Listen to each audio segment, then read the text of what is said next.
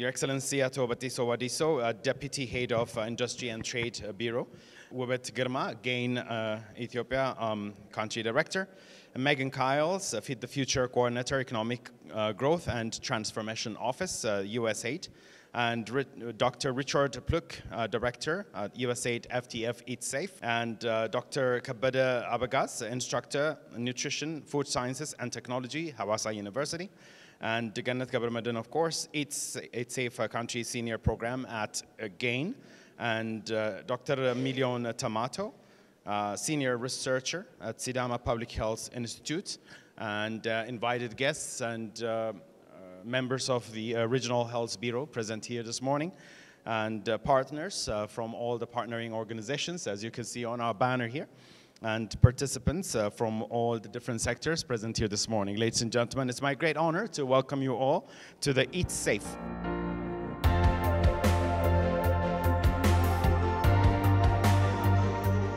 GAIN stands for the Global Alliance for Improved Nutrition, and it's Swiss-based foundation uh, that was launched uh, at the United Nations in 2002. Uh, it is launched uh, to tackle human suffering caused by primarily by malnutrition. Uh, we work with governments, businesses, civil society, and we aim to transform food systems so that they deliver more nutritious foods for all people, especially for the most vulnerable. Our purpose is thus to improve the consumption of nutritious and safe foods for all. Uh, and we focus on children, adolescents, and women uh, because we know that working with these groups is uh, crucial to transforming attitudes about food and hence uh, life chances and livelihoods. Since our establishment here in Ethiopia, which is around 10 years ago, our vision for our country is to address its nutrition challenges uh, holistically, uh, applying a systems approach that links production, processing, packaging, transport, trade, markets, and consumption to safe and nutritious food. In support of this, um, our, here in Ethiopia, we seek partnerships and build strategic alliances, uh, with, primarily with government institutions, businesses, development partners, and of course, donor agencies.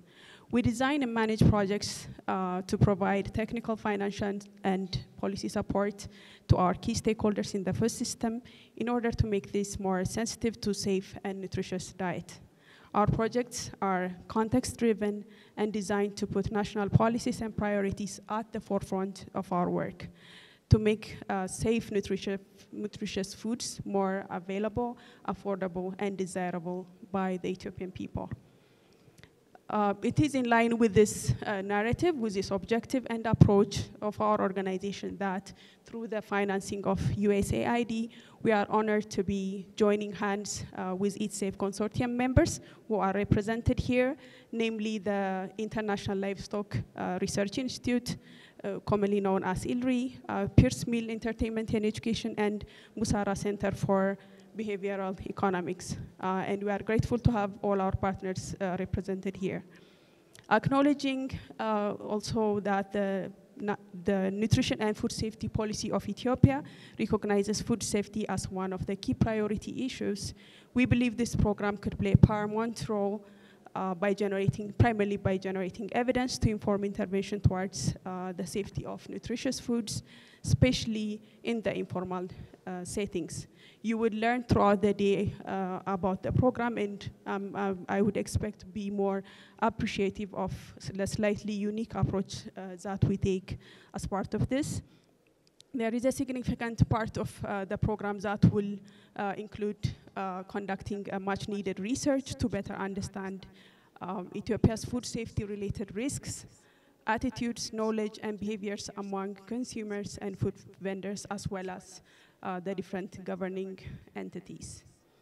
Um, as I mentioned, uh, the typical focus on the traditional informal market we believe would be a unique added value of this program uh, engagement uh, in Ethiopia and specifically in the uh, Sidama region. And um, I, we understand that, as we understand that most food safety initiatives are um, done within the formal sector. So uh, with that background, I would like to also use this opportunity to finally acknowledge and thank all the key stakeholders who have been part of the initial conversations as we were uh, kicking off this program. Um, and I really uh, believe and hope that this collaboration that's, that kicked off the start at the beginning will continue throughout the program and beyond. So once again, uh, a warm welcome to all present here, and I wish you all uh, successful deliberations. Thank you. ዶክተር ሪቻርድ ከእኛ ጋር ውይይት አድርገዋል። እኛ ቢሮ ድረስ መጥተው ይህንን ፕሮግራም መደገፍን ብቻ ሳይሆን ከዚህ በኋላ በተለይም ከሸማቾች ህብረተሰብ የአቅም የመገንባት ፕሮግራሞችን ጨምሮ ነድፈን በጋራ እንደምንሰራም ጭምር አረጋግጦልናል። ስለዚህ ከእኛም ቢሮም ብቻም ሳይሆን ያው ከጤና ከእርሻ ከትምህርት ከዚህ ቀደም እንደሚሰራም ሁሉ አጠናክሮ እንደሚቀጥልም ጭምር ነው ያረጋገጠልን። ስለዚህ ይሄ ለእኛ መልካም ዜና ነው ብለን ነው የወሰድነው። ስለዚህ ከዚህ ፕሮግራም ጋር በተያያዘ አዋሳ ዩኒቨርሲቲና ሌሎች ተመራማሪዎች ፕሮጀክቱ ከእናንተ ጋር ከሚገባው ውል ጋር ስራው ከዛሬ በኋላ በይፋ ሲጀመር እንግዲህ በአጭር ጊዜ ሰርታችሁ በሂደቱ የታዩ ጋፖች፣ የተለዩ ክፍተቶች በጥናት አስደግፋችሁ ለወደፊት ጠቃሚ የሚሆን ከዚህም አልፎ ለሀገሪም የሚበቃ ከእኛም ሀገር አልፎ ለአህጉሪቱም ጭምር የሚሆን ይመስለኛል። ይሄ ፕሮግራም በሌሎች አፍሪካ ሀገራትም ሰርተዋል። ስለዚህ ውጤታማም ስራ እንደሰራም ጭምር ነው መረጃ ያለንና ሶ ከነዛም በይበልጥ በእኛ አካባቢ የሚሰራው ውጤታማ እንዲሆን ወግናችሁ ህዝባችሁን ወግዳችሁ አካባቢያችሁን ወግናችሁ ተግታችሁ እንደሚሰሩን ጭምር አድራ ለማለት ነው የሚፈልገው። ስለዚህ ይሄ ፕሮግራም ዛሬ በይፋ እየተጀመረ መሆኑን አበስራለሁ። በጣም አመሰግናለሁ። Salam Nacho, good morning. Eat Safe is an important part of the United States government's Feed the Future initiative to end poverty, hunger, and malnutrition. Under Feed the Future, the United States Agency for International Development, or USAID, invests about $200 million in Ethiopia every year, reflecting our belief in the importance of food security, nutrition, and prosperity for all. At USAID, we believe strongly in the power that every single person has to affect positive change. We also believe that where Ethiopians choose to spend their hard earned birr really matters. The more we choose to buy safe food, the more it will become available. Working with our partners and all of you, we believe Eat Safe can harness that great potential and truly make a difference. That's why I'm so grateful to be with you here today, and I'm very excited for you all to learn more about how you can get involved with Eat Safe today. Eat Safe, we, we look at, we have four different approaches uh, with food safety. The first is the foodborne diseases, the contaminants in the food that leads to foodborne diseases, whether the contaminants are biological, chemical, physical. We then also try and understand the important linkage between food safety and nutrition because we, we've heard a lot about nutrition, about how it's important to have your vegetables, your fruits, your animal protein. We also hear about food safety, but I don't think we appreciate the connections and the linkages between food safety uh, and nutrition. The third approach is looking at consumers. We all have a great deal of power when we choose which food we buy, so that's an important component. And then finally, the prioritization of food safety nationally uh, and globally. So, foodborne disease. Uh, this is um, a global problem, and as has already been stated this morning, it affects many, many people. I think each and every one of us in this room, we have had our experiences with foodborne diseases. One in 10 people get sick each year. Children bear 40% of the foodborne disease burden, while they only represent 9% of the global population. So, unfo- unfortunately, the, the more vulnerable, including the elderly, suffer from foodborne diseases uh, more than the general um, population. A study done in 2015 said there are 600 million illnesses, 420,000 deaths a year, and they estimate $110 billion uh, of lost revenue due to food, foodborne diseases. The most common disease agents are biological, and they are uh, diarrheal disease agents. Uh, and I think these are ones a lot of the food safety specialists are very familiar with. And as mentioned uh, by Megan, it's an inequitable burden. The low and middle income countries in Southeast Asia, uh, South Asia, Sub-Saharan Africa represents around 75% of all of those deaths. Uh, but they represent only 41% of the global population. The highest burden is in Africa. When you look at the per capita foodborne disease burden, it's 27 times higher than in Europe or North America. So that's the one way of looking at it. You know, what's causing all these problems and where do the burdens fall?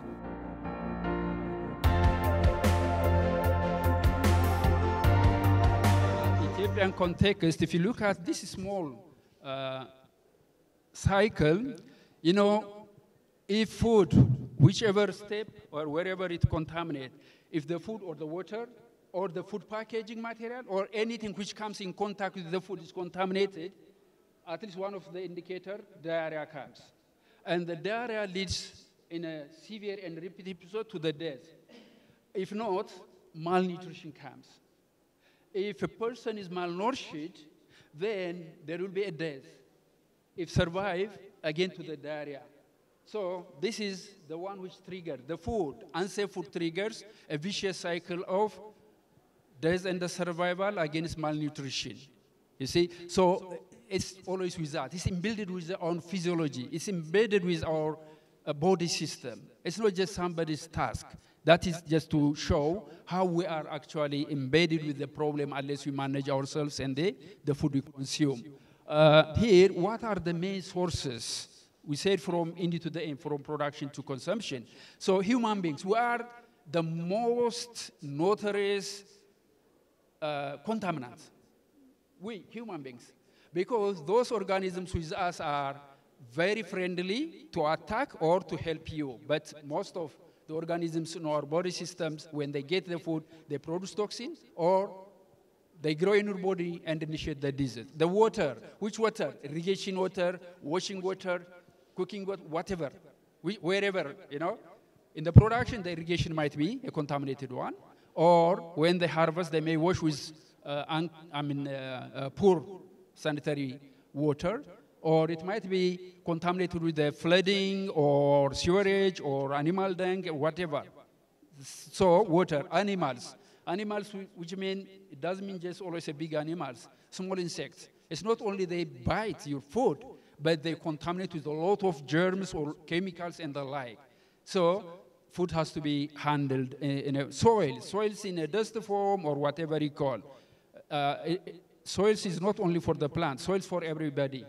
I mean, if you are walking around somewhere here and you'll find a lot of dust, you may not see, but if you blew your uh, coat, you'll find a lot of dust. And part of these heavy metals, physical or chemical contaminants, and the micro. And the equipment, which equipment? It might be a maize cutting cycle. It might be a machine. It might be a processing uh, machine. It might be knives. Anything. Anything at any step where the tool engage and in come in contact with the food, that's the risk factor. Then we have to clean, we have to manage those. And the environment, the air, the water, or whichever around ourselves. So uh, we have to have a, a public awareness so as to understand what they do with the food has a risk if they are not aware how to do. We have to teach people how to do so as to avoid or minimize the risk of food safety factors while they are handling or selling or buying or growing the food. So uh, this food safety is still a risk factor in Ethiopia. Why? Because, uh, as I said earlier, the food safety is still continuous, even worsened in Ethiopia. I am closer to this system. It's worsened, honestly speaking. Why? Let's organize food system here. Even the, uh, uh, it's not even uh, the task of an employee, an expert on the desk. Even the leaders, they don't evaluate a person who is doing on the food safety or quality. They don't. It's not part of their evaluation. Okay? Then we have to uh, pay attention. Unless less structured market, market uh, infrastructure, the supply chain managements are poor, and less developed in food industry. Yes, we are just, even if you don't have plots, most of us in the city, still we are eating what the farmers produce directly. You buy cabbage, you buy beef, you buy, just we are, even if we are not the producer, we are like the farmers who are taking the primary produce. Okay? That's uh, the reason. And uh, the uh, low capacity, that's uh, another uh, problem in service provision and the like. And also absence of food law and legislation in this country. We don't have. It's more than six years. It's not passed, neither rejected. That's why all these informal traders are making their business because of lack of food law. The only means is just if that's a criminal attempt or something like that. Otherwise, there is no food law. That's also another issue. In order to uh, achieve our goal, we have set three uh, key objectives. The first objective is generating knowledge and evidence about consumers, their value perception, and uh, other component. This will help us to understand uh, the consumers and the vendors so that it will be possible to make tailor-made project. The uniqueness of this program is also uh, with this one. It starts from generating its own research. The next activity following the generation of the evidence is designing the program. The program will be based on the information gathered during the research of the first phase. And finally, the program will be concluded by capturing lesson and uh, assessing the impact it has made as a result of the implementation of uh, the program. Finally, um, stakeholder, um, is uh, food safety is shared responsibility. Uh, it's not only implemented by uh, government alone or private sector alone or uh, consumers or vendors. It's joint responsibility. So it's expected that as a result of this program, we'll create a network of actors that we can exchange information and learning to improve and enhance the safety of uh, food safety. Before I conclude, I really would like to appreciate the support uh, we get so far from the USAID mission in Ethiopia for their um, uh, leadership and for their uh, valuable uh, input providing us. Uh, I would like also to appreciate and I'm actually very much impressed by some support we are being given through Trade and Industry Bureau of Sidama. And I also would like to acknowledge the Sidama Public Health Institute for their professionalism and for their uh, timely delivering the IRB uh, approval. Hawassa University for their support and encouragement. We also would like to uh, acknowledge the vendors and consumers in Aroge Gabea and uh, Addisu Gabea for their time and commitment to support uh, this research activity. when we say we eat, eat safe, if we don't eat safe, what will come? As can be, you know, the, what, is, what is edible, what we use for our diet, which can be, which can increase our vulnerability to various diseases can be modified. If we really take a sort of exercise, we will prevent what? Obesity. We will just prevent what? Overweight, which really actually brings about increment, increment in overall hypertension. About 19% of cases locally, including in the African region, the problem is from hypothesis that is emanated from uh, just very inefficient or insufficient exercise. So this has to be taken care of. Mm -hmm.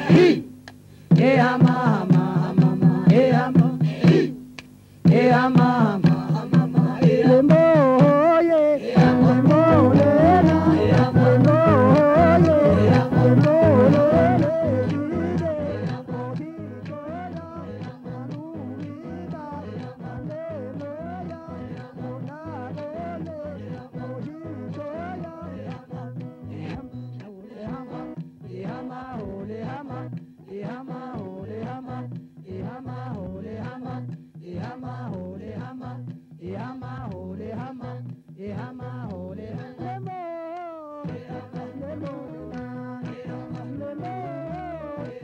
lemo, lemo, solo, lemo, labano, lemo, lemo,